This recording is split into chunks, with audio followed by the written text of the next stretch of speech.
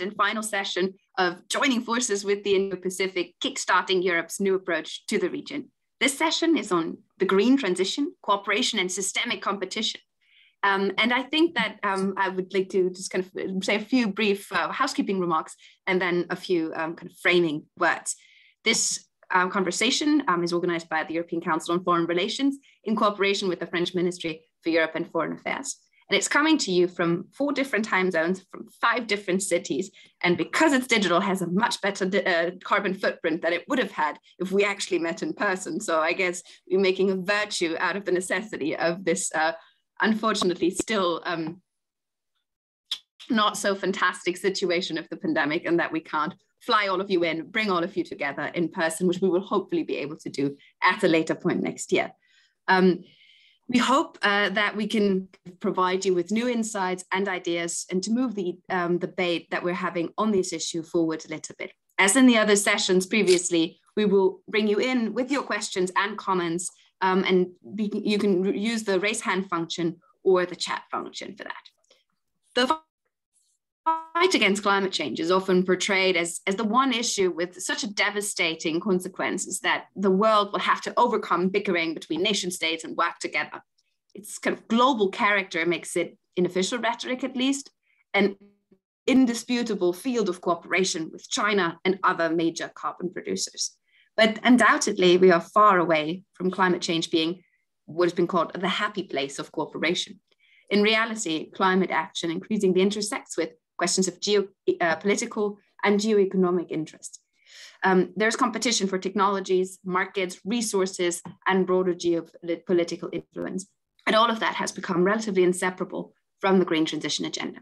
So, in our fantastic panel, we want to ask how will the post COP climate action, the push for leadership in green industries, navigating dependencies on critical materials, and the growing emphasis on the green transition in connectivity plans fit together into a coherent European approach to the Indo-Pacific and what are the expectations in the region. For this, I have a stellar lineup um, and panel with me. Um, we are bringing to you um, Paolo Caridi, um, who's responsible for China relations in the Directorate General for Climate Action at the European Commission. Um, he was the head of the trade and economic section at the EU delegation to Mexico before, the head of the trade section at the delegation of the EU to the Republic of Korea, where he implemented also the EU Korea FTA, a policy coordinator in international climate negotiations at DG CLIMA, and a first secretary in the trade section at the delegation of the EU to Japan. So he does bring a lot of regional expertise to the table as well. We also have Olivia Lazard, who's a visiting scholar at Carnegie Europe. Her research focuses on the geopolitics of climate, the transition by climate change, and the risks of conflict and fragility associated to climate change and environmental collapse. Her research, particularly at the field level and on thematic issues, has led to support the European External Action Service in integrating environmental peacekeeping as part of their mediation toolkit. Prior to joining Carnegie Europe, Olivia set up her own consultancy firm, which remains exclusively active in conflict and fragile zones. We are very proud to have with us Mihir Sharma, who's the director at the Center for Economy and Growth Program um, at the Observer Research Foundation. Um, and he was trained as an economist and political scientist in Delhi and in Boston, but um, he's most known to most of you um, as the India columnist for Bloomberg Opinion. Um, the, he's also on the editorial board of the Business Standard newspaper in New Delhi, an Aspen Fellow and a columnist for the Indian Express. So a much read person also here in Europe. And last but certainly not least, um, with Byford Tsang, my co-conspirator um, on climate publications in the past. He's a senior policy advisor on, our, um, on climate diplomacy at E3G. Um, he's uh, leading the China strategy and engagement team. Before joining E3G, he worked in sustainable finance and at the Children's Investment Fund Foundation. He spent three years in Hong Kong as an environmental consultant working with actors in the manufacturing sector in mainland China and Southeast Asia to develop corporate sustainability policies. So uh, I don't think I'm, uh, I'm, underselling this when I'm saying we have an amazing group of people brought together um, to give us a wide array um, of this kind of complex topic. And each of them will start out with a few minutes of introductory remarks, and we will then go into questions and answers. We will start with Paolo. Paolo, the floor is yours. Yes, thank you very much. And uh, well, thank you for inviting me. And indeed, with such uh, good fellow panelists. Um, well, it's, uh, I think from my side, being the least academic profile among the speaker, I will speak more as a practitioner and say a little bit what we are, well, in the European Commission, what we are preparing and doing basically when it comes to cooperation uh, in the Indo-Pacific. And of course, since in the title the systemic competition as well, uh, I suppose I should speak about China a little bit as well. Um, well, first in very general terms, of course, the increase in new ambition, uh, European Green Deal, climate law, Fit for 55 packages, uh, will change quite dramatically. Um, not only, of course, the, the, emission profile of the EU, but the economy of the EU, the, in particular through the carbonization, of course, of the economy. Now, this is will not only limited by us, it's quite clear. I mean, we saw it in Glasgow as insufficient as actual pledges are, there is a trend going in the direction that all major emitters will embark into, into low carbon economy and decarbonization uh, in the next few decades. So uh, uh, maybe I'm over optimistic, but I really think that moving away from fossil fuels is a one way road and we embark the road. The road is still long and, and bumpy, but, but we are going into that direction and I think there is no way back. Now, the impact on the economy it's multifaceted, and that probably can be a conference. But obviously, well, demand for fossil fuel will go down. That's quite obvious. Uh, demand for renewable will increase, of course. Uh, environmental standard will play a crucial role also in industrial policies um, all over the world. And I like to believe in Europe we are still ahead of, of the others in that terms. But there are many other elements which will play. Of course, dissemination of technologies is crucial, and I think in Indo-Pacific, in particular, it is crucial because we have all kind of countries there, from country where we are a bit more concerned about doing too much technology transfer, and obviously China is is on top of, of a pile there. Uh, but also uh, many countries where we, we know we should do technology transfer to help them transition in a better way.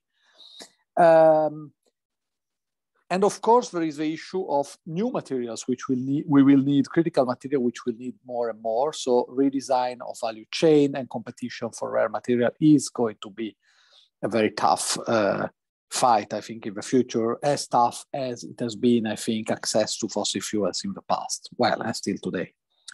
Now, uh, having said that, uh, Indo-Pacific, uh, we are working very closely with a number of countries. We have dialogue, uh, high-level dialogue on, on climate with, with China, with India, with ASEAN, with Korea, with Japan. So there is a number of this kind of structured dialogues which are existing already. Uh, China obviously is very important uh, because it's the biggest emitter, because uh, uh it's well, globally, not only in the region. Um, and it's also a country where we can really create new trends, really. So it is important. Of course, uh, in the introduction, it was very nicely said that is theoretically could be very rosy and we can cooperate with everybody. Obviously, it's not always easy. Uh, what we are trying to do really is, I think it's a bit different from China and the rest of the region. In, as I said, with China, we are more in a dialogue mode. We have a lot of cooperation, in particular in emission trading, since they are uh, one of the, of the country moved quicker into emission trading, well, after us, obviously. But so there is a lot of potential there. With other countries, what we are trying to do is establish a network of green alliances and green partnership. Now, green alliance being uh, the most ambitious levels with countries which we believe are at the same level as us, more or less, in terms of ambition. And Japan is the first country with whom we are, we are studying. And this is really a, a deeper integration, let's say, of policy integration and cooperation. With other countries, we are planning to do more partnerships. Korea is a possibility, Bangladesh is another one, Vietnam it's another one. All this is, is basically being designed now, but the idea is also there to try and create as many alliances as, as we want. And then, and I will conclude with this, we are also trying to have a regional dimension because that's also very important. I mean, it's important to work with all these countries separately, but it's also important to try and have something which puts all this together. And for instance, uh, for many years, we have a global covenant of mayors uh, in Europe. There is an Asian version of it, which is supported obviously by us very, very much. Or originally, it was very much Japan who embarked into that, but we are very happy that recently uh, China also uh, joined joined joined the club, and the mayor of Wuhan has been nominated the, the, the Chinese delegate for the Covenant of Mayors. So I think this is quite nice because at local level we will create an opportunity within the region to cooperate, uh, probably uh, overcoming at least some of the political difficulties which exist when you try to cooperate uh, at, at state level. So I didn't check exactly my time, but I should not be far from seven minutes, I believe. So I would rather stop here. Thank you very much.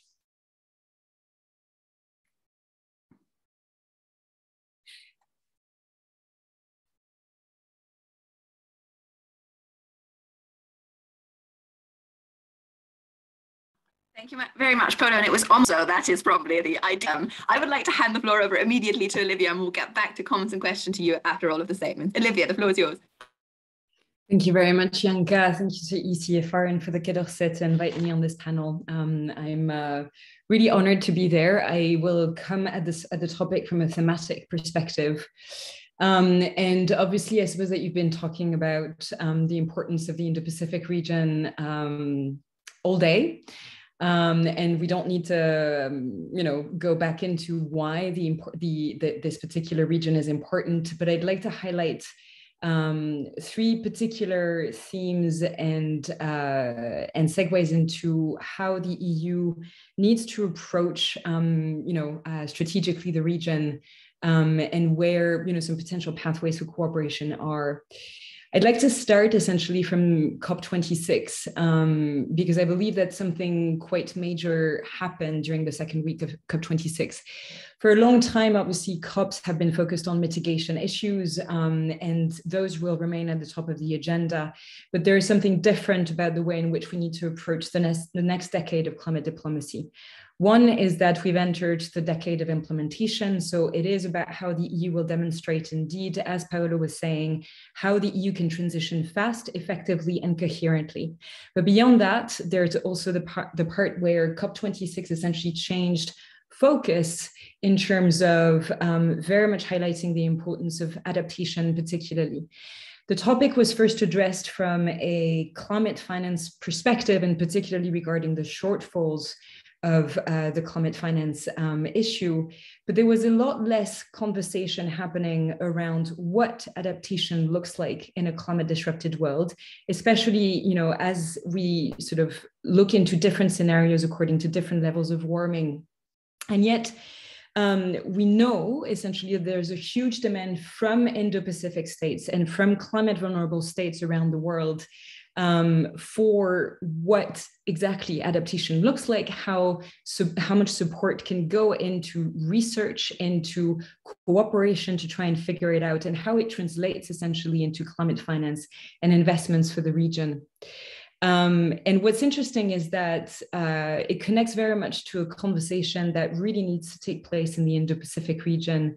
At the moment, a lot of donors, particularly the US, have focused so much on the geopolitical dimension of the Indo Pacific region that um, the needs of Indo Pacific states regarding climate adaptation and climate mitigation have essentially sort of, you know, taken um, a back seat, whereas for them, it is actually one of the most important, if not the most important, um, conversation that needs to happen. So states in the in the Indo-Pacific are still waiting to, to receive support, which is not a form of instrumentalization in the geopolitical race with China, but which really responds to their needs with a value proposition.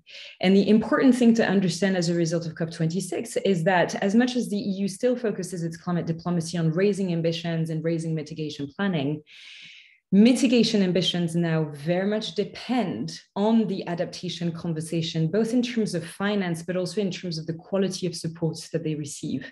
So this is a key way for European actors to exercise geopolitical agency, a third way of geopolitical agency through climate diplomacy going forward. And this is particularly important in the next two years. Now, the second aspect that I'd like to focus on, which obviously re relates to the first, is that in, in order to do that, I'm just going to show very quickly a slide. Uh, this is a slide that uh, comes from a Nature article that was uh, published a year and a half ago, which highlights the global regeneration priority areas. These are the areas where we need to focus a lot of attention in terms of ecosystems protection, on the one hand, from legal, economic, and social perspectives, but also how to undertake complex regeneration programming and investments. And as you can see, the Indo Pacific region stands out as one of the reddest areas on the planet. Um, and there needs to be a lot of uh, investments, research, um, and programming that needs to go into what does complex regeneration look like in this particular in, in, in this particular region of the world knowing that complex regeneration actually combines mitigation and adaptation targets together. It is an integrated approach towards um, climate action.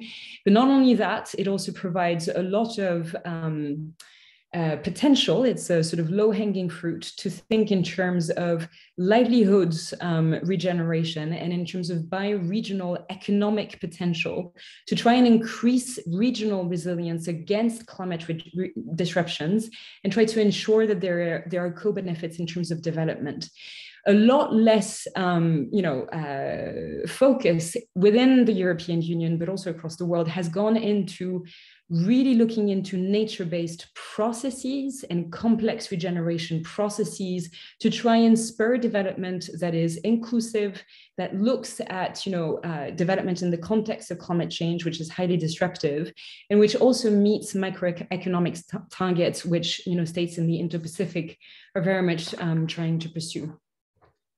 And then the last point that I'd like to focus on, which stands actually a bit in tension with the third, uh, with the second point, is actually um, uh, something of, of, of, geopolitical and geoeconomic um, you know, relevance, which is that the EU seeks to lessen dependency on China for critical materials, including rare earth, since China has based essentially its economic model um, on the vertical integration of uh, critical material supply chain for its rise to economic power.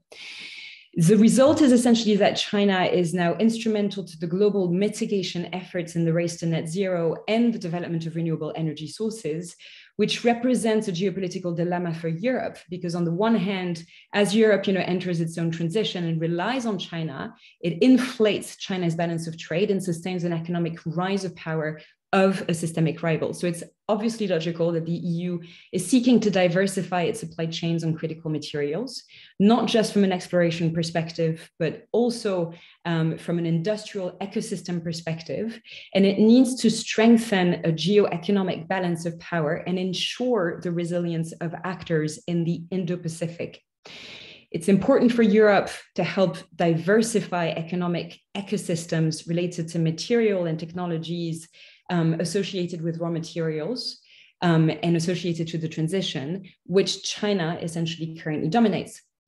And we know, and we can see it from this particular map, which comes from the International Institute for Sustainable Development, that the Indo Pacific is replete with critical materials necessary for the transition, but we also know that the industrial and energy ecosystems associated with raw materials endowments is actually mostly absent and it needs to be developed. It's currently dominated in terms of export by Australia. There are a number of states in between China and Australia that need to strengthen their economic um, and industrial approaches to um, the transition. And um, importantly, what we need to notice, and it's in relation with the map just before, the endowment in raw materials is in tension with the global regeneration priority areas. Therefore, it calls essentially for um, an approach which is, uh, especially by European actors, which is strategic, which is nimble, but which is also framed within an ecological mindset a lot of the geopolitical heavyweights are currently rushing to gain access to these materials, but they're doing so in a way that perpetuates environmental damage, social marginalization, and conflict, as well as macroeconomic underdevelopment, because the extraction of raw materials is actually one of the least um, lucrative, uh, you know, part of the value chain and needs to be associated with much more of an integrated approach towards value chain development. So Europe actually needs to approach Indo-Pacific actors with a proposition that is based on an ecological, social, governance, and geo-economic understanding of the potential of the region within the, uh, the climate transition. So that means having a strategy on critical materials, which is about um, you know, diversifying access to critical materials for European actors, but it needs to be complemented by technological innovation on recycling and circularity of economy in Europe and in the partner regions, including the Indo-Pacific region, in order to switch away from extractive approaches and dependency relationships over time. It needs an attention of supply, on supply chain development and investment that puts an onus on social and environmental objectives and therefore heavily combines industrial and economic approaches with work on governance and socio-economic redistribution. Um, there is a need to study how to create an integrated value chain approach to strengthen interdependencies and resilience amongst Indo-Pacific actors. And there is a need to involve private sector actors in adaptation investment conversations and find ways to really incubate regenerative business practices, not just sustainable. We need to move on to that next level of conversation. So, in short, the EU must essentially place itself as a supporter and an enabler of regional resilience at ecological and economic levels. This is actually a strong opportunity for the EU to invest in climate diplomacy in this direction, particularly in the next few years, with the combined benefits of strengthening European climate diplomatic leadership, mitigation and adaptation, and resilience of the Indo Pacific in the face of geopolitical tensions. Thank you very much. Thank you very much, Olivia. Uh, and I think the angle that you're taking uh, is definitely very helpful in helping us understand that there's more to the debate on climate change than just decarbonisation. And I think that is uh, often overlooked in, in the debates that we're having uh, and in many of the conversations, but we'll get back to that very soon. Um, the floor is yours. And in case I, um, in case you can't hear me properly, I'll sometimes switch off the video. My internet connection in the United States is not very good today, so uh, just bear with me a little bit. Mihir, please. All right, I, I, I hope everyone can can hear me well enough. Um, but uh, I'm, I'm going to sort of talk about uh, um, about this obviously from an Indian perspective, but try and make it as as general as possible. Um, and I'm going to try and essentially hit three points. First, where does climate change figure in the view of countries like India, um, in their view of strategic autonomy and economic engagement in the Indo-Pacific? Second, where does what are the implications of that for our view of how the Indo-Pacific is changing over the next uh, five to seven years? And finally, uh, what therefore may be the convergences and divergences between our views and that of the European Union, and what are the ways in which we can maybe find uh, uh, partnerships uh, uh, going forward. So on the first, I think in many countries in the Indo-Pacific, and particularly in India, there is definitely a belief that our current development model is running out of gas, both you know, literally and figuratively. And, and, and for us, there's a clear link between um, new growth frontiers, between the creation of strategic autonomy, essentially freedom from dependent supply chains, and investment in our green transitions. So in particular, we hope in India, as do many other countries in our neighborhood, that commitment to the green transition domestically will allow us to jump up the value chain. It'll allow us to raise greater levels of infrastructure finance, which you know we, we're always worried about. And finally, I think to create new sectors that satisfy domestic and regional demand and obviously create jobs in, the, in, in, in, in that context. And we're thinking in India, for example, about electric vehicles and batteries, um, as are, you know, some of our neighbors are thinking in terms of uh, solar, uh, solar, large solar parks that, that might be job intensive. But various questions uh, uh, um, that essentially inter intertwine domestically the climate change and the development and growth agenda. So we've created, I think, a fair narrative about how development, security, and climate change are very closely interlinked, at least domestically. Now, second point, how do we expand that into a, a coherent vision of how the Indo-Pacific will look going forward? Well, I think that, as I said, we hope that a green transition for our economies domestically and a shared green transition for many like-minded countries, developing economies in the Indo-Pacific will both reduce dependencies, which we see as increasing currently, and B, create new hubs for growth, right? So we're concerned essentially that the old development model, the resource-rich development model, was creating um, a network of supply chains that was in the Indo-Pacific, unipolar, hub and spoke, uh, core and dependency, whatever you want to call it, that sort of model. And we want to break out of that, right? And we believe that perhaps the green transition might aid us in certain ways in breaking out of that strategic dependence that we feel that we're growing into. So this we know requires the shifting of supply chains, which requires a lot of participation, a lot of conversations with the private sector, some of which can be quite painful. This we also know requires the creation of real and digital infrastructure in places that are currently infra deficient, right? Um, you know, some of our coasts uh, that are maybe ideal for trading within us, not so ideal for trading with China, but are therefore running short of uh, infrastructure at the moment. We also know, and I think we've come to this belief in the past year, year and a half, and when I say we, I mean not just the Indian establishment, but many similar uh, uh, countries, including Indonesia, including Bangladesh.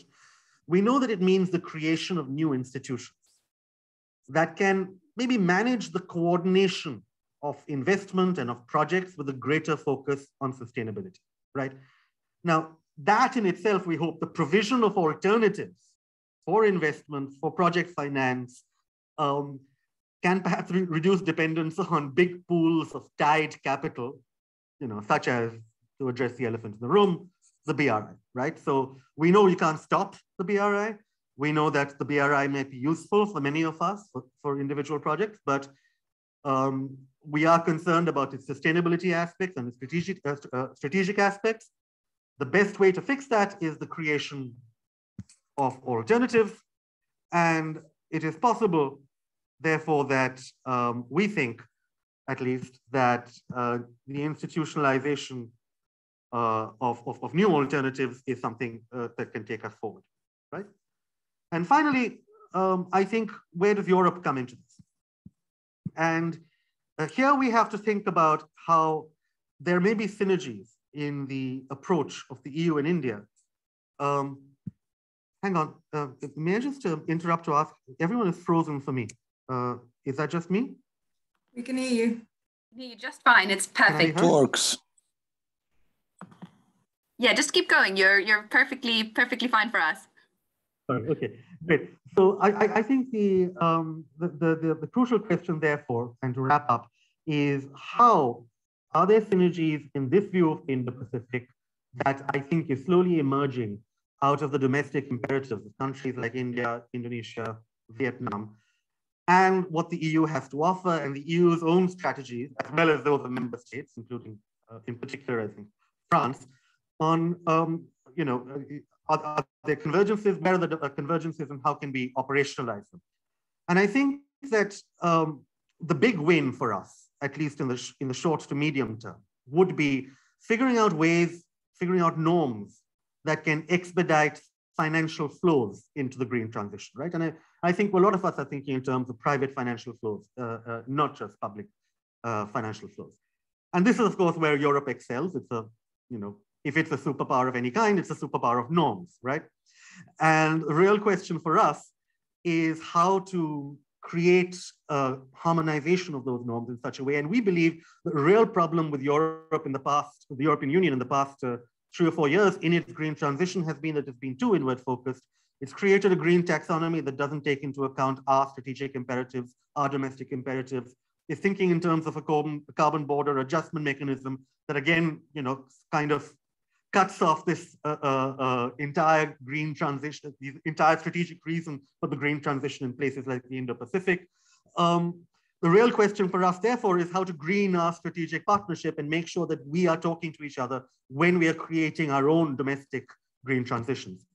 And how to together create an institutionalization for this cooperation that can be inclusive, um, that can have obviously India and the EU, but also bring in existing our existing partners in the region, Vietnam, Bangladesh, etc., and ASEAN. And I think that uh, there's a certain amount of outwardness to our domestic green transitions that we have to think about. And if we are going to be trying to incorporate uh, um, the geostrategic idea into our development narratives and vice versa, um, we have to start talking to each other about our green transitions at a much earlier stage uh, than we are currently doing. Thank you very much, Mihir. I think that's uh, that was a, a, good plea, and I will get back to you on kind of the EU's current initiatives on the global gateway providing financing for infrastructure. But we can talk about that, I think, in the discussion round. I would like to hand the floor over to Byford now. Yeah, thanks, Janka, and thanks for having me on this on this excellent panel. So, uh, yeah, so I'm here to talk about a bit more from the, the China perspective, but I also want to put it in a broader context of the Indo-Pacific region. So I'll first talk about kind of EU's diplomacy into the Indo-Pacific region and how that has impacted China's climate policies. Uh, and then secondly, um, what are the priorities areas that EU can focus on in this approach in, in the Pacific that would help accelerate green transition in China. So firstly, um, on current like diplomacy uh, approach and how that has impacted China. So we can see that in last year, one of the more significant climate policies from China is is pledged to end uh, the construction of coal power plants overseas, and we should not forget that that followed um, the announcement, similar announcement by South Korea and Japan to do the same earlier in the year, and also from the G7. So, um, so obviously we couldn't, um, um you know, make a direct link to that. I'm surely that has uh, accelerated China's uh, decisions on the matter. And obviously, the EU has played a role in, in, in strengthening, say, the, the, Green Alliance with Japan and also the diplomacy into South Korea and others in the region. And China's position has been has also been made more untenable after recipient of some of the Chinese coal finance in the region, like Indonesia, Vietnam, and Pakistan, have um, announced policies that would scale down the coal development in the region. So just thinking about um, how how EU diplomacy could play a role in the countries uh, in China's neighborhood and how that would have an impact on China's policy, and how could we replicate similar dynamics to move China's domestic coal policy, which is still at the moment uh, what they haven't committed to to a phase down of coal uh, until uh, from the beginning of 2026. So, so that's that's that's one area I would like to highlight. And then also going back to uh, the outcomes at COP. So, so the, a lot of focus has been on China's uh, action to to kind of water down the language towards the the end. But but if we look at the, the overall, like there are some actually some tiny steps from uh, on China's position. Um, China and alongside with other countries have signed on to the Glasgow Climate Pact, which says that all countries should revisit and strengthen their 2030 climate targets uh, by the end of 2022 uh, in order to align themselves with the 1.5 target.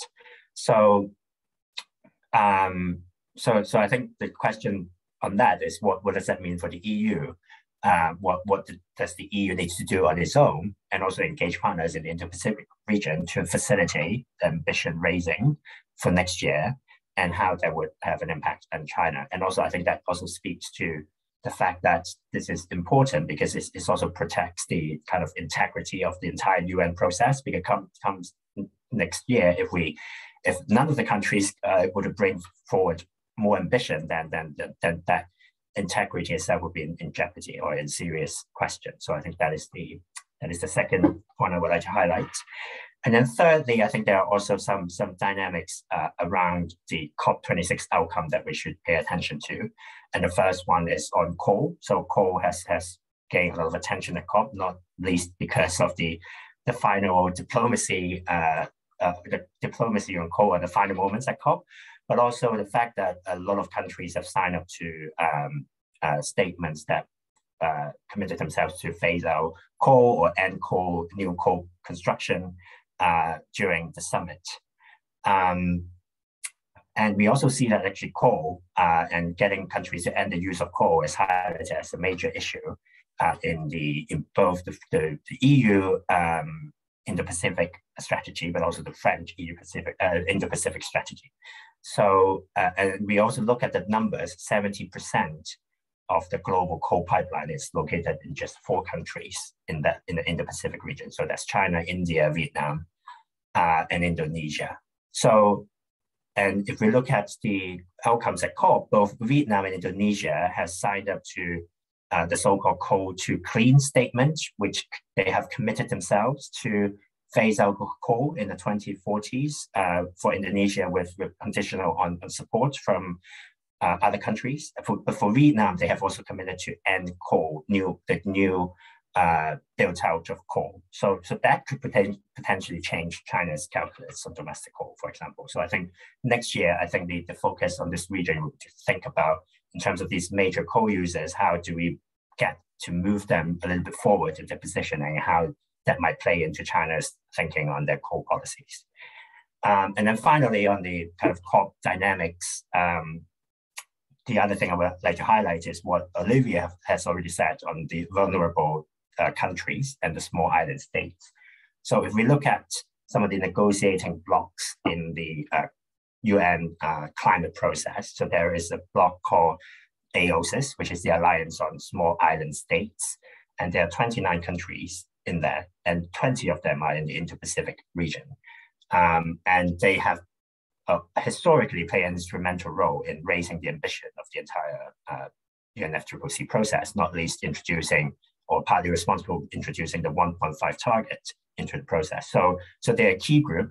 Um, but if we look at the, the response to the overall COP outcome, obviously there were some disappointment around uh, what China and India perceived to be watering down the core language in the end. But the majority of the disappointment is actually directed towards, as Olivia has pointed out, the underwhelming loss and damage um, and the adaptation outcomes there. So I think the question for us would be like how um, next year, like the finance negotiation for adaptation, loss and damage, um, how, how that would play out because that would be key in playing into the mitigation conversation. Like Olivia said, like mitigation now depends on adaptation and, and loss and damage.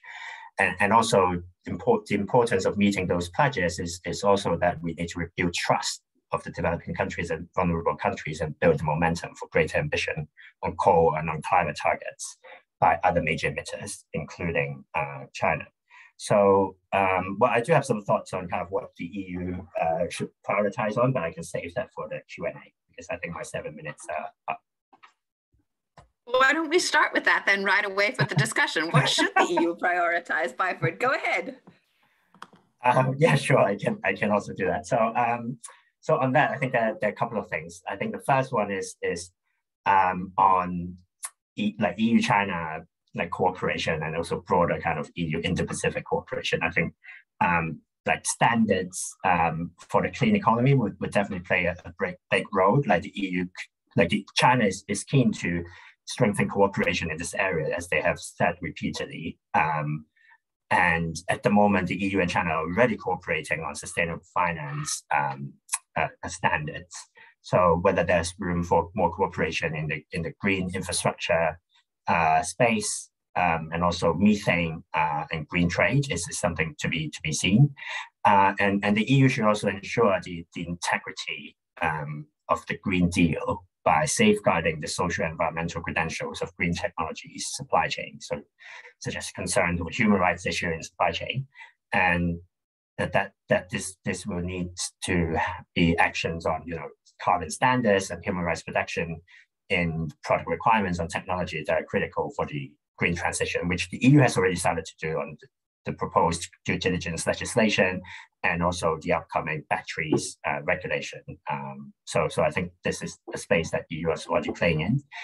Um, and then, um, secondly, I think um, on climate risk and climate security. So in the Indo-Pacific strategy, the EU has set the importance of uh, strengthening prevention and rapid response to natural disasters. So I think that is absolutely right and also speaks to the, the kind of adaptation question that we, we just touched on. But I think it's, it's also there's also a need to, to think about the broader kind of security implication of climate change in the region and how the EU can um, can play a role in, in, in facilitating some of those discussions with Indo-Pacific partners, including China, because China is more likely to agree on rapid decarbonization if, it's be- if it better understands the risk to its interests um, from uncontrolled climate change. So, um, so I think yeah. So the climate risk uh, and security discussion, and, and there's already some some efforts by by EU, which was started by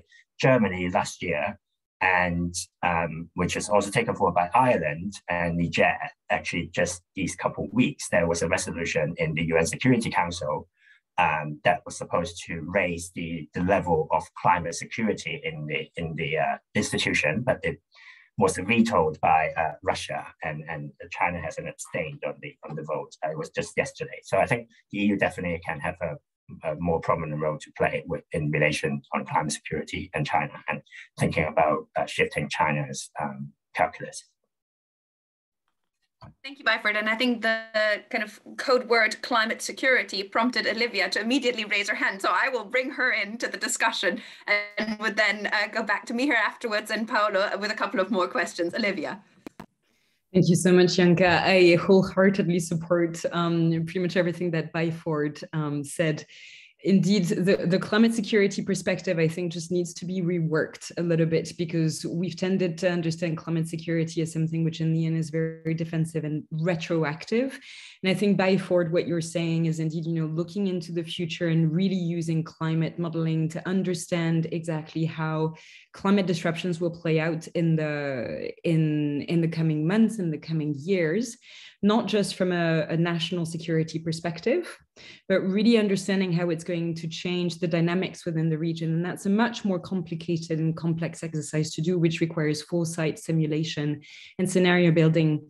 And one of the key things to understand in there is really how to harness essentially this notion of ecological diplomacy, working to rebuild ecological integrity at the heart of you know every single region across the planet. But as I tried to demonstrate in the in the presentation, the Indo-Pacific region very much stands out in terms of priority areas regarding you know the necessity for regeneration. And again, here I want to sort of to me, in terms of priorities that the EU should pursue in the region, at the end of the day, it is about resilience and new forms of development in a climate disrupted world. And that comes from pursuing complex regeneration at ecosystems levels, which is really hard and requires a lot more research. But it is only by rebuilding ecological resilience that we can talk about human development and national and economic development in a climate disrupted world whilst at the same time really sort of you know trying to think of how to uh, design development from a legal institutional governance and economic perspective vastly differently. So some of the low hanging fruits regarding you know the eu's agency lie in how to harness research partnerships regarding what resilience really looks like and doing it from an interdisciplinary and multidimensional perspective looking at you know, biology, climate science, um, socioeconomic development, macroeconomics, um, political sciences, et cetera, et cetera, and institutional and legal development on the one hand. And then the other part is indeed, you know, knowing that there is a very strong push for how do we handle this question of access um, to critical materials and competition around the sort of transition models that each and every region of the world is heading towards then the question for the EU becomes how to cooperate with actors in the Indo-Pacific, but also in Africa and Latin America, over how to usher transitions that support a somewhat environmentally friendly extraction of critical materials, knowing that there's necessarily going to be some environmental damage anyways, but do so in a way that can help, you know, like to do some research in terms of how do we mitigate the impacts of material extraction and how do we ensure that socioeconomic human resilience and therefore sort of national resilience stems essentially from transition modeling rather than you know transitions driving economic interest at the expense essentially of ecological human and national resilience over time so this is really something that if we it's it's a it's a flip in the in the sort of you know geopolitical mind frame that we need to pursue you, Olivia. Mihir, I would like to kind of push you a little bit on. Uh, you were very, with a smile, saying that the EU is a bit inward-looking, and we're kind of friendlily poking there at the at the EU. But I do think that that's an important point that you're raising, basically saying, you know, what is the expectation level of the region? What is it that you've observed you doing? And in that case, I would particularly like to, to press you a bit on this Global Gateway initiative that the EU has announced. Now, it sounds great, 300 billion over seven years. That's a lot of money putting on the table. Um, all of this, you know, has to deliver also on the Green Deal, so it has to be invested in sustainable green infrastructure projects, etc. Is there an expectation also from the EU India connectivity partnership, that there's something coming out of this. You know, th- there has to be something in it for the Indian economy as well. It's not just about kind of European companies now doing something like you, you don't want to create similar dependencies. So, what exactly, how do you walk that fine line into attracting European investment, balancing things out, um, working together with Europe, but kind of working towards Indian interests as well? And how can they best be served in that sense? Um, I think one large part of that argument has already been won, whether in India or in Indonesia or in many other uh, um, large emerging economies in, in, in the region, which is that there is a general understanding in the domestic political class that anything that raises our access to long-term infrastructure finance is in our interest, right? So uh, the case for sustainable finance for sustainable infrastructure does not need to be made, right? Now, um, the immediate question that we that you know we would have about gateway first gateway is a wonderful step forward. It is a really uh, uh, important thing and something that i maybe if you'd asked me a year and a half ago i would have said uh, the eu would not have been able to get its act together to do on this time frame. But it's happened and um, the crucial question now is is that accessible? Is that accessible for companies that want to make that investment? Will it be able, will it, will it receive some form of um, concessional regulatory space domestically in the European Union, finance that flows into a gateway related project? Uh, will we be able to say immediately that the countries that are receiving gateway finance are ones with transparent and harmonized enough regulations that the private sector will want to participate in, in, in, in you know, blend their finance in with the public uh, money that's on the table. And all of this requires now quite a lot of capacity building and quite a lot of behind the scenes work um, that will need us uh, to go from country to country in the Indo-Pacific, ideally picking out perhaps those countries that are both infrastructure deficient and that are important to us from a geostrategic uh, uh, uh perspective and go to them and say, okay, what are the what are the ways in which your domestic regulations to attack, attract infrastructure can be harmonized with ours? What are the ways in which your development banks can speak to our private sector in a more uh, you know, uniform and accessible manner? Basically, we need this to become frictionless, right? And once the European Union makes it frictionless, then perhaps because the EU can demonstrate leadership in this, uh, we can take advantage of the existing EU-Japan partnership on green infrastructure you know, because of course Japan is, is a giant financer of quality infrastructure in the region, bring them in, and then eventually maybe, God knows, the Americans will wake up and figure out something, right? Uh, but essentially, uh, the idea is uh, make it uh, smooth, make it flexible, adapt it to local considerations, make sure that, third, make sure that domestic regulations give it some form of concessional, uh, um, you know, uh, status. And fourth, then try and bring in the other partners. So it's not a confusing mishmash of an Australian program, a European program, a Japanese program, but one window that looks at, at people, uh, that, that countries can look at as an alternative to the BRI, a sustainable, greener, and more uh, autonomous uh, alternative to the BRI. Just to follow up really briefly on that, um, because I think it's always a problem, some, or sometimes a problem in understanding who does Europe need to talk to on the Indian side? Who are the interlocutors that can move this forward on the Indian side? Um, who are the players that are most relevant on this, just to kind of help us understand a little bit? Um, in India, as in many other countries in the Indo-Pacific, uh, when it comes to matters like this, which are um, which are, let's say, beyond the capacity that exists in the traditional bureaucracy, you have to start at the top, get political buy-in, right? Um, so I've, you know, I made the claim earlier that, you know, a, a, the, the, after the last EU-India summit, there was movement on both sides, right? So if you can get the EU uh, and, and leaders at the European Union level, leaders at the member state level, making the case, making a uniform and understandable case to their political counterparts at every point, that's when it, so in India, get the prime minister's office inside, things things happen, right? Ditto in Bangladesh, ditto, I mean, in, in, in many other countries in the region. It's a political conversation. It's not a bureaucratic conversation. I know this is hard, therefore, for Brussels in particular, right? But it's a political conversation because you need political buy-in to make those uh, uh, regulatory changes to, to, to push the domestic private sector. Very good. I think this is the, um, and this is a call for action also for the new German government because if it's a political conversation, then you can't avoid the member states, and I think that is really important to bring them in. Paolo, I would like to kind of return this to you. Uh, you've patiently waited and listened to what's been said, but you obviously have views on the global gateway as well. So, uh, is the EU because uh, Mihir was saying, um, you know, if you had asked me a year and a half ago, I wouldn't have thought the EU would get its act together. I would be even harsher and say if you'd asked me three months ago, I probably not even bet my money on it that they would have done it. So um, now that we have it, and the EU has surprised us once again um, of its capacity to act on these issues. Um, what, uh, how do you see how, how frictionless can this be? Um, how far advanced are we? And can we create this kind of multi-purpose tool that allows us to deliver on the green transition, but also on geopolitical. Yes. Uh, well, can you hear me? Yes, yes. Can you hear me as well? Good. Yes. Well, no, no. You, I can hear you, but the question is pretty difficult. Um, well, it is. I would say the good news in reply to to to to, to a comment uh, from India is that it is a political construction at the end of the day. I mean, this was announced by the president.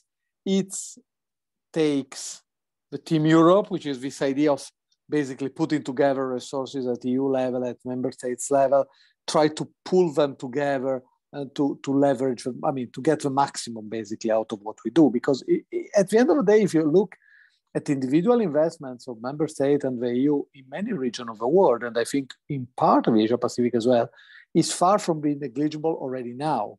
The question is how visible we are and how much geostrategic we are. And I think all this links with uh, somehow the, the, master plan of our president. I mean, she uh, started by saying that uh, this commission should, uh, should be a geopolitical commission. Obviously, there were some reasons, including COVID, which pushed us probably a little bit more inward looking that should have liked it to be when, when the commission, this commission started working. Uh, but I think we're little by little going back to, to, to, to the original ambition. So let's say, for me, the global gateway, it's, it's a geopolitical, it's a political construction. Now, obviously, the good news is that all this is linked with sustainability. Uh, so theoretically, it, it sounds really, really perfect. Now, the real question here, how easy, I mean, how accessible, how snappy this is going to be. Uh, yeah, uh, let's see. I mean, obviously, it's still work in progress, so it's, it's, it's difficult to know. Let's say there is a big chunk of it, I'll say roughly half, I think, which is going to be easy because this will be connected to NDICI, so to our uh, sustainable development uh, funds. I think we have 140 billion, if I'm not mistaken, over the seven year, which are earmarked under 35 billion, which are earmarked for the seven years. So it's a little bit less than half of a total uh, pot of money. This should be easily, uh, easily, dis- let's say, uh, and with known procedure. Same thing, I believe, uh, EIB money also relatively easy. So let's say, um, I don't think, oh, well, let's see uh, is going to be quite difficult to put this into a single window, which would be perfect, of course. But I don't think it's realistic because that will take so much time to have it up and running that we are already in the middle of a period. So I don't think it's it's reasonable.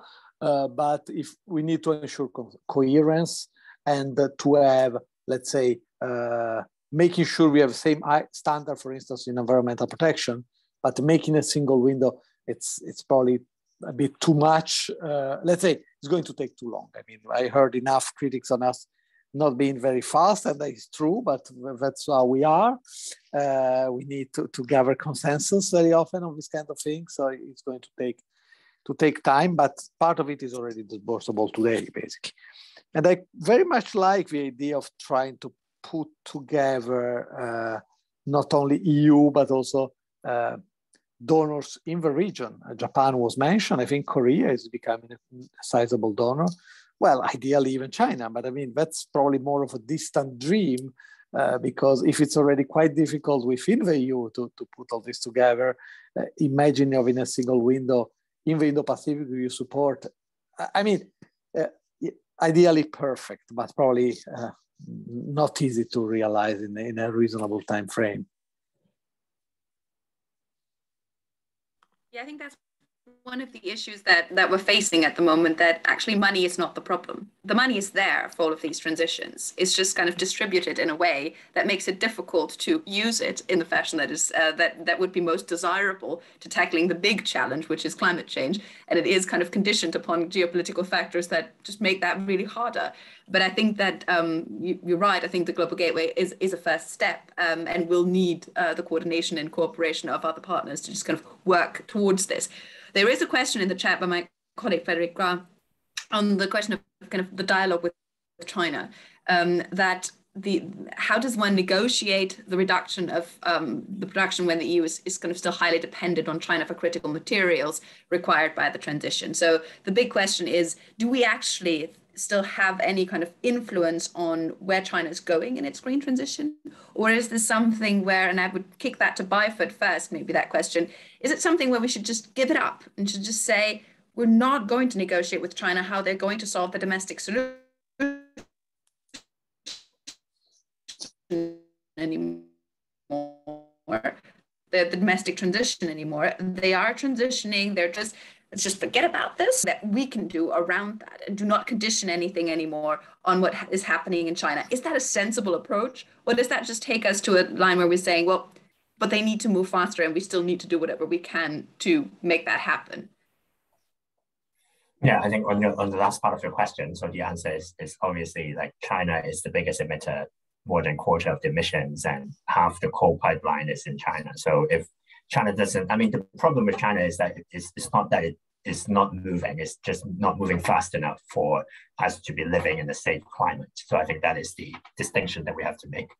Uh, and then, and then to answer that question, like how do we move China? Then, then, um, well, like like I said, I think diplomacy can certainly play a role in the region. Like looking back at what has happened in the last two years in, in, in terms of getting China to end funding uh, on uh, coal-fired power plants overseas, like like it's not only diplomacy. I mean, campaign groups in, in the regions that I, I mentioned, like Indonesia, Pakistan, uh, Vietnam, they have also played a role. So, so the EU can think about how they can support like transition there through well either civil society support or um, or, or diplomacy. Like there are different ways to to to do that. Um, but then looking back at, at China, um, I mean, the, re- the main reason that it's not moving fast enough is because of, uh, I mean, similar challenges being faced in any region, like vested interest, dependency, uh, locking in of the energy system, uh, inefficient pricing mechanism. So, so those are all the issues that we will have to, well, in one way or another support China to move on in order to to move China faster on the uh, climate question. And I, I, do believe that despite uh, well the tensions that, that are there, there are a lot of uh, learnings from the EU regarding transitioning some of the, the, the coal-reliant region, especially in, in, in Eastern Europe um, in these days. I think there's a lot of experience, and also from Germany, there's a, a lot of experience that uh, EU, what China can can learn uh, from from Europe in terms of how do we transition uh, um, economy in the region that is dependent on coal into renewables without the worst of social economic impacts in the region. So I think that that's something that EU can certainly play a role. And then going back to the kind of critical raw materials discussion. So I mean, the EU is not all dependent on China. That like EU is a leader in green hydrogen, so the EU can certainly double down on, on that uh, and building out the, the infrastructure and the research.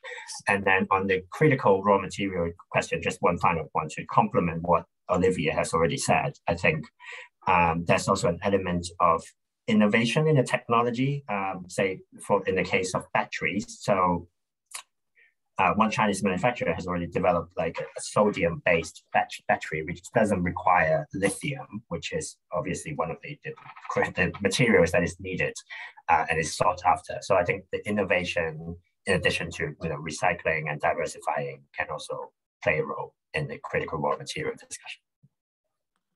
And Olivia, I'll obviously bring you in on the critical materials as well in a minute, but I do want to ask Mihir quickly on uh, the question of um, how is the how's the relationship with regard to China and the perception of dependency is also changing in India? Because you've hinted at it in your initial remarks, but I think just kind of laying out how this is changing and how this is something that is maybe simultaneously changing in Europe and in India, where there was a similar awakening, I would say, in Europe in terms of how dependent are we in certain critical sectors? How are we not overhyping this, but how are we not underestimating how important some of these dependencies are. Where is the debate there in that regard at the moment with regard to critical materials in, in the Indian conversation? And then I'll come to Olivia after that. Well, I think that um, essentially in, in India, the conversation about dependence on China had, you know, three things sort of came together over the course of the year, past year and a half. Um, and the first was an understanding that um, uh, several supply chains that were crucial for our future transition were already either dependent in, uh, dependent on, or dominated by, or would soon be dominated by, uh, um, uh, you know, producers in China. Um, I think the second thing was that there was actually, in our case, a direct military confrontation in which people died, right? And uh, which um, actually made a sense in which, okay, this is not a relationship that maybe we can uh, depend upon um, to the extent that uh, business as usual would, you know, would allow us to depend on it. And, and, and, and finally, I think um, there was an understanding that grew in our private sector, as well as in the, you know, the broader, broader private sector that invests in the Indo-Pacific, that um, it had become dangerous for them financially and from their, their, you know, their own risk management perspective to have undiversified supply chains. And that's an, that's an idea that eventually became quite clear, essentially in, in the early months of the pandemic. Um, and so you have this sort of combination of, of, of the, you know, the development and growth people, the private sector and the security people all simultaneously thinking about the China problem, you know, at the same time for a few months last year. And that shifted the, uh, the conversation in India. And that shift, and I think that's, that, that's shifting the conversation in, in several other parts um, of the world as well. So of, of, of this region as well. So the essential idea here being that we know, and we're already late to the party, we know that in India, for example, we don't want to increase our own domestic production of rare earths. We know where it is. It's in our biodiversity hotspots, right? This is really not a choice we want to be forced into, right? Um, but if there are ways in which we can create an alternative and be part of an alternative supply chain for rare earths, that goes through like-minded countries in which the investment is made by uh, uh, you know private sector actors that we feel are not necessarily controlled by Beijing, we would buy into that in whatever way we can. I think that that's essentially what we what we're looking at. It's like, why is nobody else trying to create a supply chain that we can be part of? That's I think our point.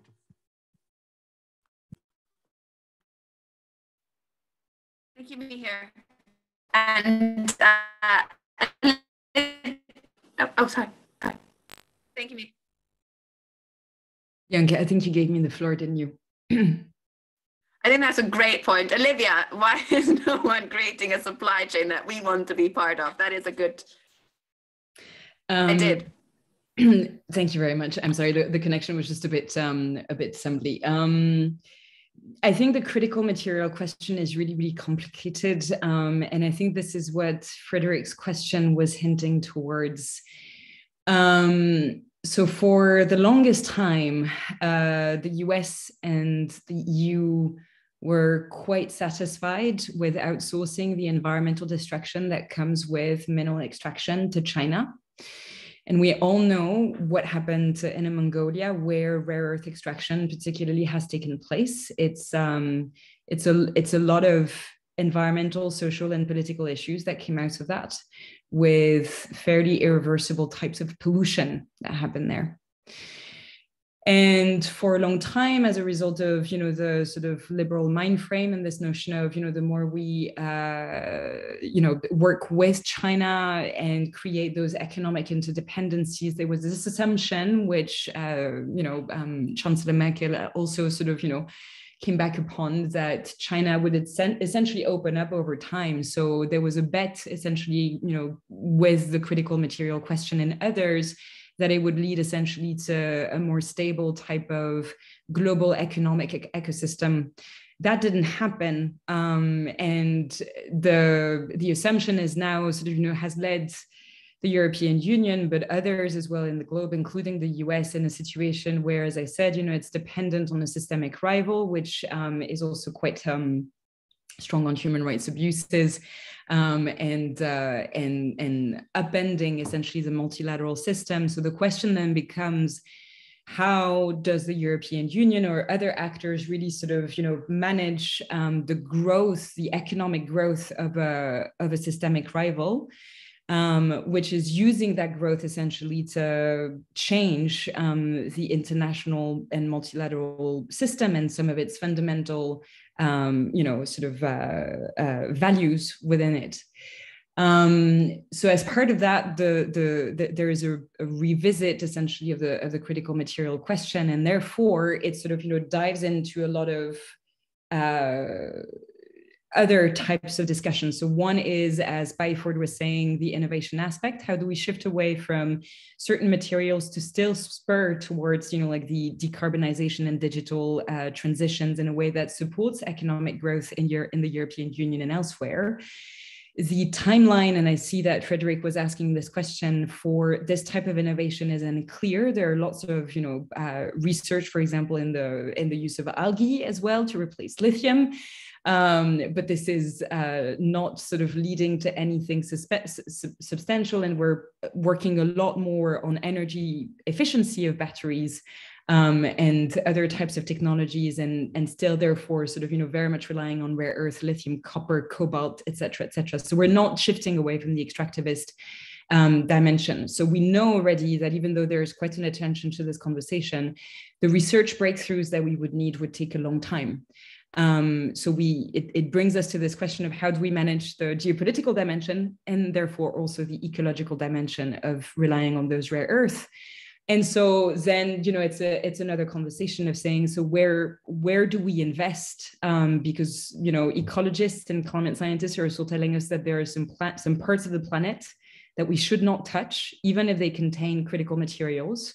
So where can uh, exploration and extraction concentrate with the least possible damage in geopolitical, geoeconomic, and ecological terms. And this is a really, really complicated discussion to have, but it's the one conversation where if we dare strongly enough, I think, in the European Union to look at the complexity of this question rather than try and shy away from it or ignore, um, you know, the larger complexity, then we can find um, a way to indeed sort of cooperate with partners in the Indo Pacific, in Africa, and in Latin America that really uses those questions as a way to spur conversations about what the transition should be about, because it's not just about energy substitution, it's about leveling power relationships, it's about establishing a new type of geoeconomic balance of power, it's about delivering on inclusive growth if growth there needs to be and in those regions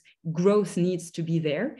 But it also needs to potentially be questioned in, in, in economies that are a lot more advanced and sort of focused on consumerism uh, and, and productivism ad vitam aeternam to you know uh, in a way that is ecologically unsound and all of those questions taken together give us essentially you know some pathways towards how to cooperate with the partners that need to deliver on macroeconomic growth inclusive growth um, climate resilient development um, and um, and adaptation. And all of these different themes are actually sort of connected together and the eu needs to deliver in terms of political dialogue, development programming, um, industrial research, and um, geoeconomic partnerships in a way that strengthens, once again, resilience, inclusive development, and stability. And this part is really important. Stability also understood in terms of conflict prevention and climate disruption prevention as much as possible.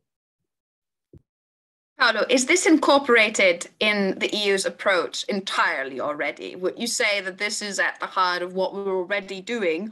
Or is this something we say, well, actually, this is something that makes it really hard for us uh, at the moment because they're overlaying other interests, including business and trade interests, um, that may make this conversation a lot harder for the Europeans at the moment?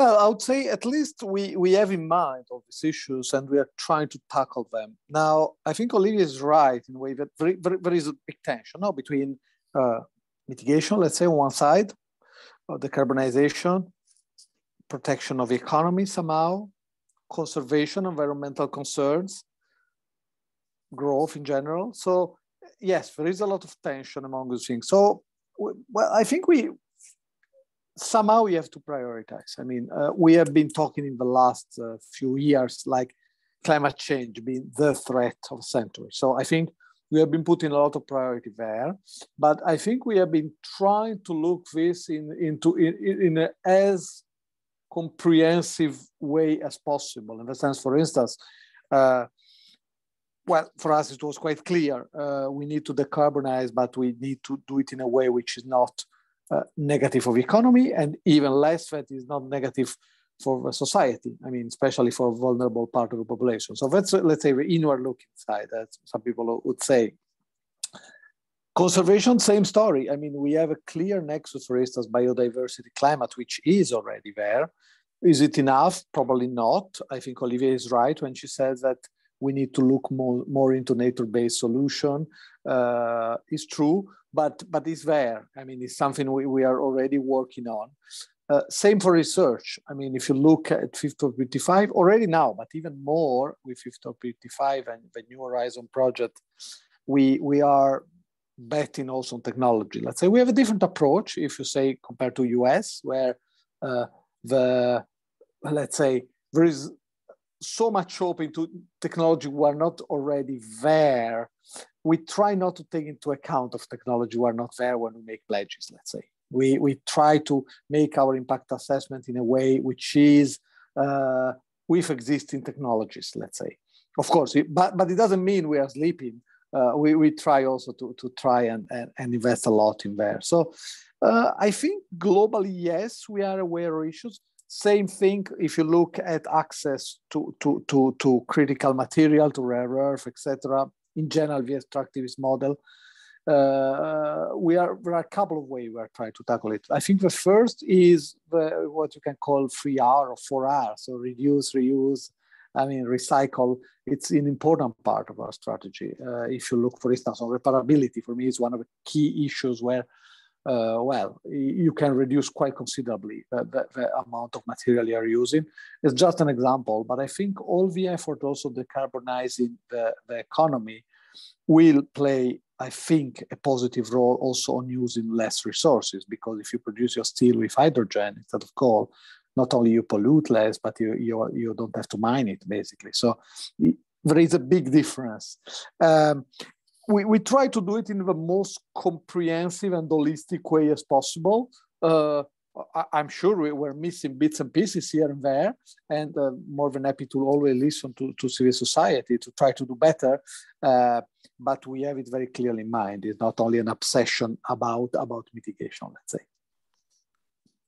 I would like to throw, before we have to wrap things up, I would like to throw one more kind of broader topic to this panel, and that is the technology question that Byford has hinted on a little bit. Um, but I think that is really important to talk about. Each of you has actually talked about technology a little bit, and the question of, you know, it is being thought as one of the saviors in this. Um, we were thinking about kind of innovating ourselves out of the problem.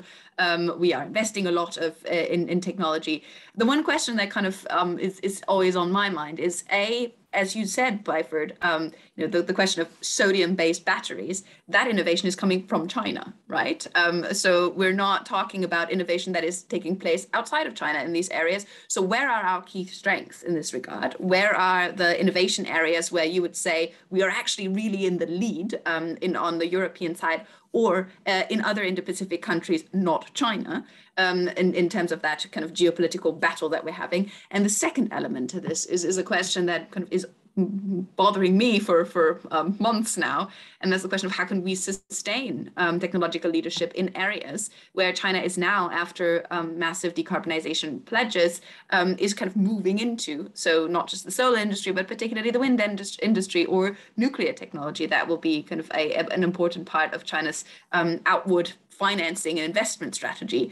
Um, and that will be really important for the Indo-Pacific region um, in supporting the green transition in these countries to just flag a little example, um, if we're thinking about kind of um, the energy um, production in the Maldives, um, that was all focused on, on diesel generators. Um, and now China is coming, coming forward with a lot of solar pledges there and, and kind of trying to invest in solar power. And Europe has not been able to do so because our financing instruments really can't accommodate political risk in, in the Pacific countries that are not as stable as we like them to be. So how do we deal with that in the future? And that we actually are able to have the technologies and the companies that can provide this technology um, to have our own energy security um, um, factored into this discussion. Because if Europe doesn't have any companies anymore that can produce solar panels or wind turbines, then we become dependent in a whole different array. Let's put it like that. Um, so maybe let's just kind of throw this to this round to the panel um, and um, and start with. I, I think I'll start with Byford on this one.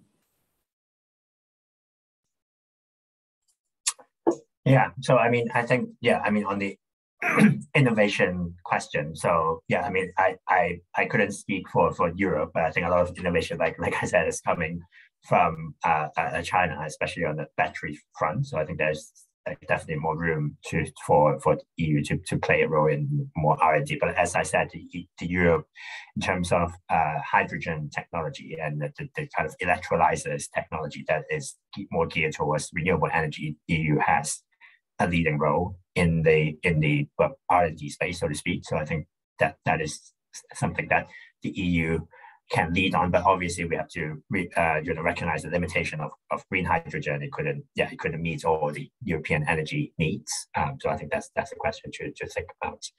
Uh, and then in terms of the the, the wind solar industry um, question, so so I think we, we would also have to put it in the context of kind of what China well, China has only very recently pledged that it's going to ramp up support for renewable energy, uh, well, as part of the its pledge to to end coal support overseas. So, for all these talks with kind of green BRI, like this is the, the most the major or highest uh, political pledge to, to to ramp up support for renewables in third countries. So, but I think a lot of that remains to be seen. Like most recently, we have seen uh, in the China Africa summit towards the end of last month, there were a lot of support being thrown uh, financially and on projects. So there were a lot of commitments on projects. I mean, there were a lot of analysis saying that China's commitment financially to to Africa in, as part of the EU Africa uh, China Africa summit has reduced. But if you count in um, the the projects that were announced, but also the the vaccines um, commitments and other commitments. Like China has maintained its um, support in the region, and that includes like green and renewables energy. So I think um, what China is also finding is the right modalities to invest in renewables abroad. I mean, it has not traditionally been uh, uh, a lot of the supplies traditionally been going into traditional energy like uh, gas and coal. So I think China is also exploring um, the modalities um, at the moment. So I I would like to see whether um, there, there's room for actually, for actually EU to engage China in this area because China did uh, announce most recently that it's going to introduce a new uh, global development initiative, uh, which is more geared towards like sustainable development goals, which includes climate, but it has specifically said that China is open in this regard and would like to uh, work close, closely with the G20 and also with Europe uh, or the EU to, to work on this matter. So um, yeah, so I think that that is more more a question like on whether there is more room for, for China and EU to to build out like high quality standards, at least agree on a set of standards and and, and, and agreed on the rules of the road to invest in this area. overseas. Thank you, Byford. Mihir, how's this seen from the Indian perspective? Um, our technological competition with China on these fronts, uh, innovation capacity, um, and our ability to secure kind of energy security in the age of renewables? You're still muted, so we need to unmute you. There, there are a lot of points here, actually, and I'll, I'll try to run them through them as quickly as I can. Um, first point is that I think that one of the things that a lot of emerging economies in the region, including India, are fairly proud of is the fact that um, innovation, the, the, uh, you know, the dissemination of and, and distribution uh, of, of innovation, of new innovations, isn't just about where it's created, but also about finding the processes that put it into place and you know adapting your existing networks. Like for example renewables are fine but can you how do you put renewables into the grid? How do you find the land for them how do you uh, pay for, uh, you know how do you create the financing systems around them etc and on, on, on, a lot of those i think that's also a form of innovation that some of us uh, it's a process innovation not just you know the product innovation that a lot of us are pretty good at. So india may not make uh, uh, you know in as much of um, the, the you know the, the photovoltaic uh, uh, um, supply chain as it wants, but it does have the lowest installed cost of large solar in the world because of the process innovation in, in how it, it puts those elements together. So I think there's there's a lot of hope that it's not just about the basic science. There's a lot of other stuff that involves getting those products to market, and and and, and there the Indo-Pacific does have a, a comparative advantage.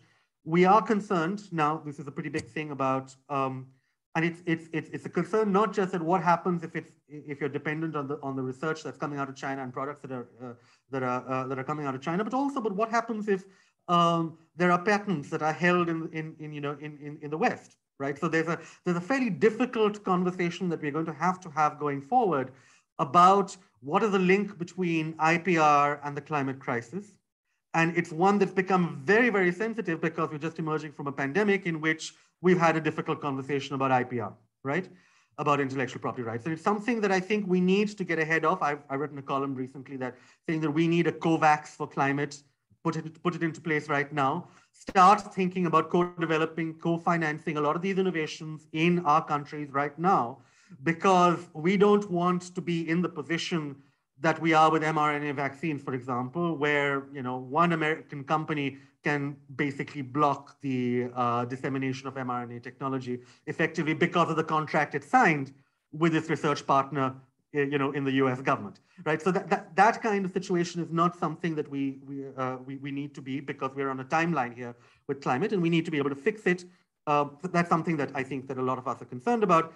And finally, we're really, I, I, and this is something that I think I, I, need to stress. We we're really not in this alone, right? So you mentioned, Janka, the, the question about, um, you know, how do we get, you know, nuclear power, uh, you know, how do you get uh, stuff to the uh, countries like the Maldives, right? Uh, where maybe you can't, you don't have land for a giant solar plant. And um, Singapore's buying stuff, buying, buying, you know, uh, uh, Indonesia is buying nuclear reactors from South Korea, right? Now, uh, that may have been a little difficult for some countries because you need to negotiate with the, with the Korean Exim Bank, et cetera, et cetera. Nuclear financing uh, uh, with some of the nuclear producers is, is part of the problem. There's been, a, there've been proposals on the table for a very long time on co-financing nuclear projects, right? Um, and that's something that we need to, uh, that's the kind of thing we need to take forward, right? If you have a nuclear project in a country in the Indo-Pacific, in which it is being produced in country A, the um, uranium may come from country B, Australia, and the financing should be, com uh, should be coming from country C, as long as they meet the same sustainability and uh, uh, standards, you know, a shared center values, right? And I think that's, that's what we have to work towards, co-financing a shared supply chain for, for a lot of these issues and shared innovation, a shared pool of innovation. Otherwise, yeah, we're stuck.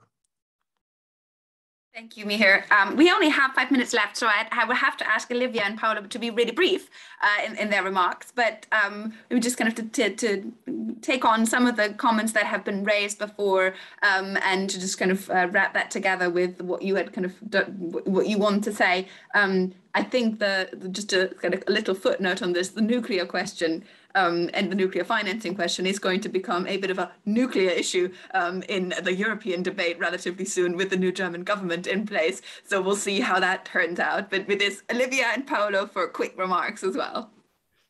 Well, the technological innovation aspect is a bit out of my comfort zone, but I was actually going to say that indeed, you know, there's quite a number of research and really good research about new forms of fusion in Europe. But obviously, this is indeed becoming a bit of a of a thorny issue. Um, but what strikes me in general is essentially that there are, there are many, many different research networks which are of incredibly high quality in Europe, and it's indeed, you know, a, a, a bit of a puzzle that there can be so much qualitative research networks that do not necessarily amount to technological breakthroughs or to you know technical amounts of research that can then be harnessed into cooperations with partners um, across the world.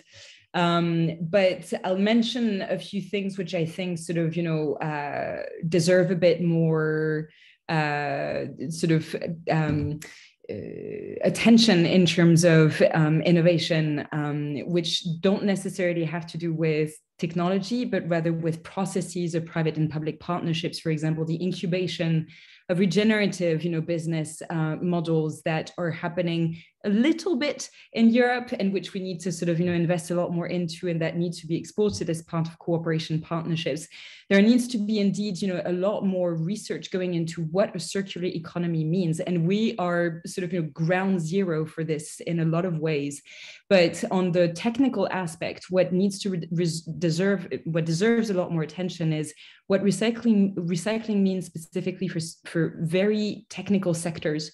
So if I look, for example, at uh, the end life cycle of wind turbines, they're being crushed and recycled into you know materials that we use for road coating this is a very, very poor type of recycling because we're actually losing the atoms that are part and parcel of the wind turbines that should go back into another cycle of production afterwards.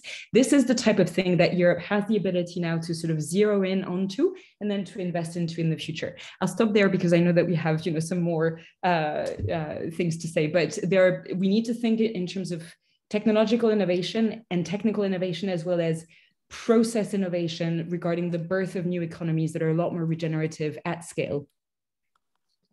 Thank you, Olivia. Paolo, you have the last word before we hand over to Gabriele Visentin after this. Yeah, thank you. And I have two minutes, I think. So let me try to be very concise. Now, just on a personal note, I have been working both in Japan and in Korea, and especially in Korea, where we're very jealous of their capacity of, let's say, market new technology. But at the same time, I remember Korea being very jealous of how many Nobel Prize we are winning in Europe and how strong we are in basic research. So we, we need to exploit this complement. And I mean, I, I, this is country I live in, but I know India is in a very similar situation as well. So we we have a lot of complementarities, and this is definitely something we should work more on. Um, we, we, are trying. I mean, if you look at, at, at Horizon 2020, we, well, in Horizon Europe now, we have been trying to create joint research uh, pools of company. Of course, it's always bottom up, so it's not something we create as, as a commission, but there has been a number of consortia with many countries, in, in, in particular in, in the Asia Pacific region, and go, going together with AU to do high quality research in particular in the in the area which are somehow related to to green technology. So I think this is something we need to do more. Having said that, we are not so bad in Europe. I mean, if you look in renewable, we are at least in wind, we are still leading by far. Uh, if you look at the future, well, on hydrogen, I think we are also not far from leading.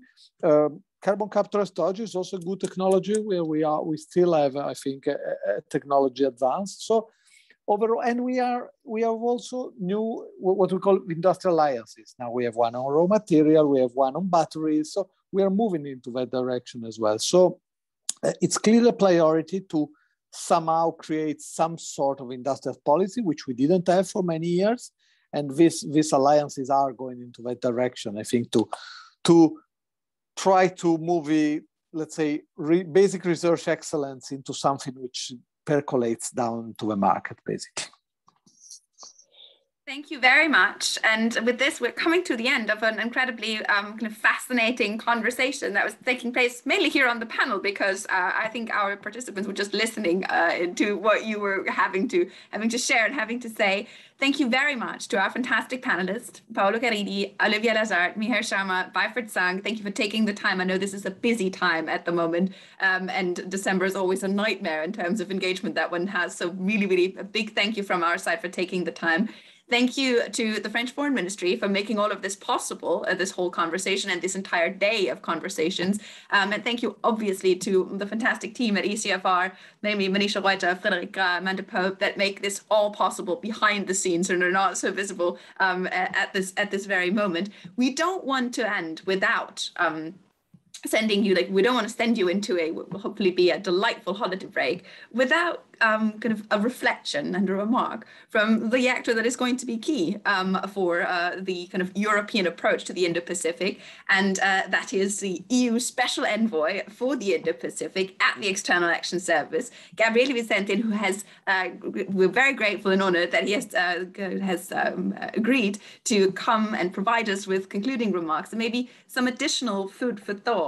Um, there'll be plenty of food, food in the next few weeks, I think, for everyone, but food for thought for the holiday times um, and how Europe can position itself in the Indo-Pacific across all of the areas that we have discussed today. Thank you so much, Mr. Visentin, for kind of closing us off today. Hello, Janka, and, and thanks to, to everybody for, uh, for having me here today.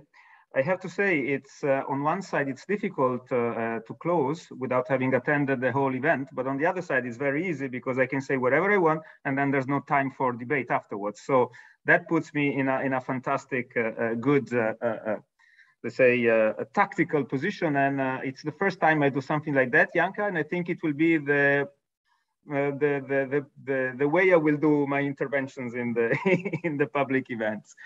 No, uh, but thank you very much for, for having me in such a, in such a high level event uh, with key speakers. It's, uh, it's a great program.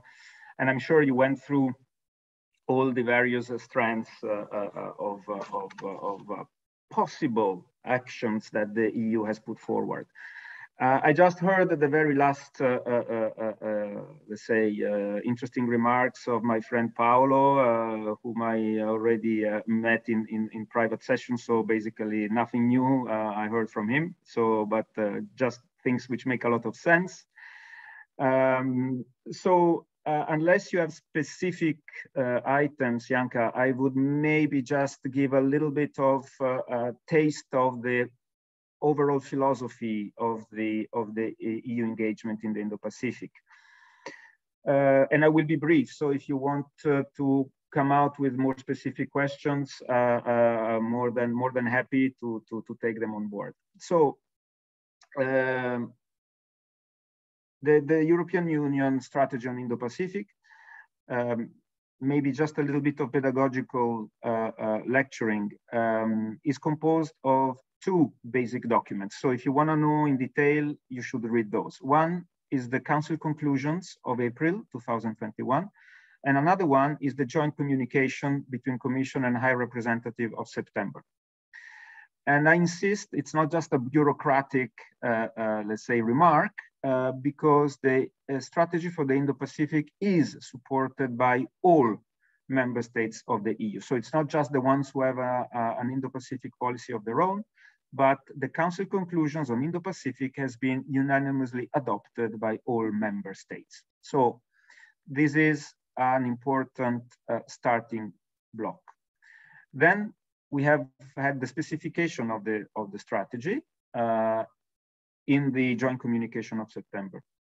There you have the seven areas uh, for cooperation. I'm sure you went through that, so I, I, will not I will not go too much in detail. Uh, what I want to highlight is that the Indo-Pacific is already the center of gravity of the world. Uh, it is, uh, it is uh, the place where 60% of the world GDP is created. It is the place of origin of 40% of the trade which goes to the, to the EU. Uh, it is the region where 2 million, I say 2 million EU citizens reside on EU soil. Uh, normally around 8,000 troops are always stationed in the Indo-Pacific, and we always, of course, talk about French territory, but it is EU territory as well. Uh, in 10 years, within 10 years, 2.4 billion people will exit poverty and will join middle class. And 90% of these 2.4 billion will come from the Indo-Pacific region. So it's not now, it's all in the future will be even more the center of gravity of the world.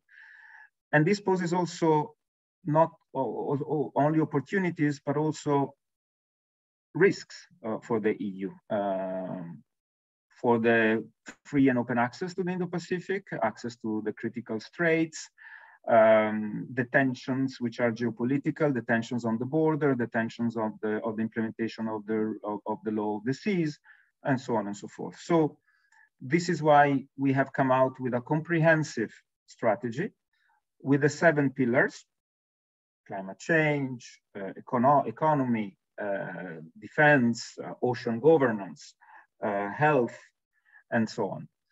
Uh, what the Indo-Pacific strategy does is not to change the policies of the EU or the relations that the EU enjoys with the partners of the region. So the Indo-Pacific strategy does not change the relation that the EU has with Japan or that the relation the, the relations that the EU has with India or with Indonesia or with Korea, name it. Uh, the strategy allows the EU to look from the same uh, strategic umbrella the toolbox of policies that uh, it has at its disposal in the region. And this in a mutually reinforcing way. So when we talk about the importance of trade, well, we talk about the reinforcement of our maritime presence so that the, the access to the sea, to the, to the navigation routes remain, remain, uh, remain uh, accessible. Um, or when we talk about connectivity and we link it to the, to the green, uh, uh, to the climate change, fight against climate change, then we see that the overall, the, the new structures will have to be uh, uh, if not uh, green, they will have to be climate neutral, as we say. And I just heard your Indian interlocutor talking about nuclear. So that's, that's something we should be borne in mind as well. So the Indo-Pacific strategy allows us, European Union, to look at ourselves as a, as a strategic uh, uh, player in the, in the region, not just a sectoral player on policy by policy, but a comprehensive player for the for the for the for the region. Um, and this is the novelty, uh, or by the way, in the way we look at each other. And of course, of course, uh, the Indo-Pacific strategy cannot be implemented only by the EU's institutions. We call it a Team Europe effort, uh, this means that it can only be implemented in its entirety uh, with the support of the member states. So it is the Commission, it is the EAS, but it's also all the member states.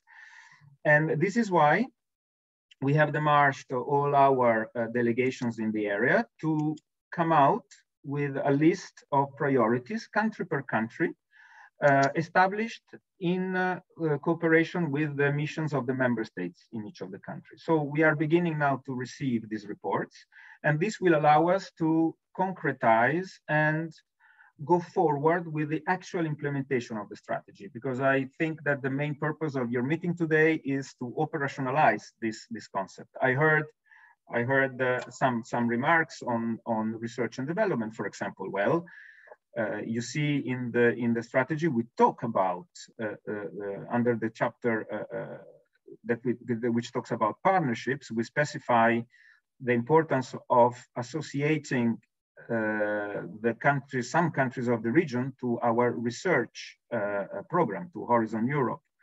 Uh, and not just on a project per project basis, but really associating them to the EU programs in, in terms of research and development. But the, go, the same goes with, uh, with other strands of, of, uh, of, possible, of possible cooperation. Um, so um, maybe we have five more minutes. I can maybe give you the floor for putting me a couple of questions. Just if you want, uh, the motto uh, of our of our strategy, uh, and it's a journalistically usable. It is that we say that we cooperate whenever possible and we protect whenever necessary. Uh, and this gives the uh, idea of, of, our approach. And uh, last, probably there's no need for me to say it, but I do it anyhow. our strategy is open is open to all the partners who want to cooperate with us in the various strands that we set out.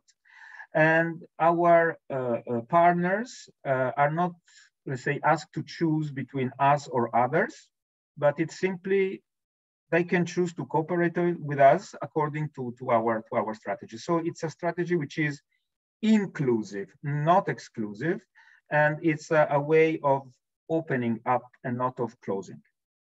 And I am happy also to say that uh, if you read the speech that uh, uh, the uh, State Secretary uh, Blinken gave in Jakarta yesterday, where he outlined the new US policy for the Indo-Pacific, well, he cited more than once the EU's strategy for Indo-Pacific, saying that uh, it was a sort of, let's say, inspiration, or that uh, the two strategies are very much uh, uh aligned in terms of uh, content and, and, and aims. and this also shows how important is the cooperation with uh, partners which are not necessarily from the region in order to make a difference in the region. Thank you very much. For you. Um, so if you speak about Team Europe, then I immediately think about football. Um, and I think, you know, Europe now has a team. Um, the captain is on board with all of this. There is a game plan. Um, the, Europe has entered the field. So, what is our first move to score? Um, how do we get this ball rolling really quickly? Just in like maybe two sentences, what is the first thing that you need to do to keep this A on the agenda, the topic, with all of the other stuff that's going on around Europe? Um, and how do you kind of actually move? Now, next step, what is the first thing that comes to your mind? yeah i mean I, I, like i like the the image but not completely because uh, the the, the, the football team always has to score against someone and uh, it's uh, it's not a value in itself. It's always a 1-0 or 2-0 so it means that someone is taking our goal. And this is not the aim. Our aim is to cooperate not to score goals against someone else. Uh, so let's say that the the key for us is for example to start already uh, implementing the connectivity to the global gateways. We have come out with a, a, blending which shows the European way to connectivity, which is based on private, public uh, uh, money, but also with the involvement of financial institutions. But above all, our grants and loans uh, will be given uh, on the basis of sound business plans and above all on the financial feasibility of the project, which means that the beneficiary or the indebted part will be able to uh, uh, repay the debt and consider this as a vehicle for development, not for strangling, if you if you see. So it's uh, that's for me is the backbone of our presence uh, worldwide, but in the Indo-Pacific as well and uh, on, on, that i think uh, it will be it will be the, the, credibility of the eu will be tested to work with the member states with the partners in the region and in joining forces with with other with other big partners who can be donors like the united states or like japan or or this uh, or these like-minded countries Thank you very much, Gabriele Visentin. We know that you have a very busy schedule ahead, so we don't want to keep you longer. And we are ending a, a long day of discussions on the Indo-Pacific to, uh, with with your remarks. Uh, thank you very much for taking the time. Thank you very much to all of our speakers throughout this entire day that have contributed. Thank you to all of the participants that have spent their day with us uh, so far in all sorts of time zones, in all sorts of places around Europe, around the Indo-Pacific region. And uh, I'm even joining from Washington here. So I think we had a, a great conversation all day. Um, it has been um, a fascinating endeavor Thank you very much to our colleagues from the French Foreign Ministry, my colleagues at ECFR. Um, I wish all of you um, a delightful and a peaceful and a slightly calm and reflective holiday season ahead. Um, I hope that all of you get a little bit of a year-end break because this year was rough. Um, it was wild. And I think the next year is going to have a lot in stock for EU and the Indo-Pacific region. So we better get a little bit of a rest so that we can fully move in January in the spirit that Camilo Visentin has laid out for us, kind of a friendship game that we're playing um, with the others to kind of move everyone forward and get fit for the 21st century and the, the needs of it. Thank you all very, very much um, and have a wonderful day.